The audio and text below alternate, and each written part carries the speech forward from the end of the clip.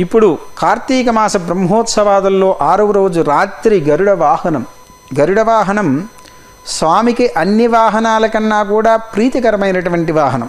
ఏది స్వామికి ప్రీతిని కలిగిస్తుందో అమ్మవారు కూడా అదే ప్రీతిని కలిగిస్తుంది అని మనకు తెలుస్తుంది.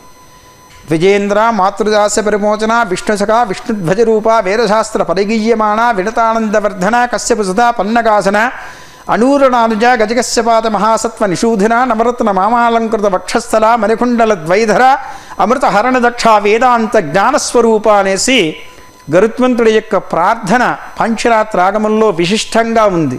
పైగా ఏ వాహనం ఎక్కినా సరే ఆ వాహనానికి గరుత్మంతుడిని మాత్రమే ఆవాహన చేయండి అని మనకుంది. ఇది ఈశ్వర సంహిత పాత్మ సంహిత శ్రీప్రశ్న సంహిత పాంచరాత్రాగంలో ఉన్నటువంటి అనేక సంహితలు దీన్ని మనకు తెలియపరుస్తున్నాయి. గరుడ వాహనం అంటే గరుడం అంటే ఏమనుకుంటున్నారు? సాక్షాత్తు వేద స్వరూపమే.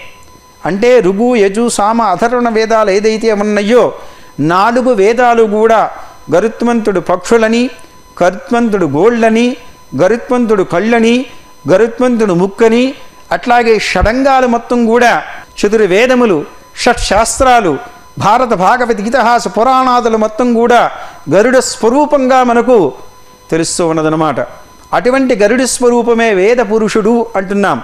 అటువంటి వేద పురుషుడైనటువంటి గరుత్మంతుడి మీద అమ్మవారు ఈరోజు అధిరోహించి ఈ యొక్క వీధి వీధిలో ఉన్నటువంటి ప్రతి ఒక్కడిని పరామర్శ చేస్తూ ఉన్నదంటే ఆ యొక్క అన్నమాచారులు చెప్పినట్టుగా ఈ యొక్క వీధుల్లో విహరించినటువంటి పరమాత్మ వక్షస్థలంలో నిత్య నివాసం ఏర్పరించుకున్నటువంటి అమ్మవారిని ఎవరైతే గరుడ వాహనం మీద ఉండంగా దర్శనం చేసుకుంటారో అటువంటి వాళ్ళకి సమస్తమున్నైనటువంటి ఈతి బాధలు తొలగిపోయి నాలుగు వేదాల పారాయణం చేసుకున్నటువంటిది శాస్త్ర పారాయణం చేసుకున్నటువంటిది ఏదైతే ఉందో ఆ మహోత్కృష్టమైనటువంటి మొత్తం కూడా కలుగుతూ ఉందనేసి మనకు తెలుస్తుంది.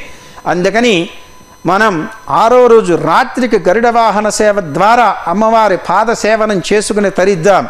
శ్రీమతే రామానుజాయ నమః.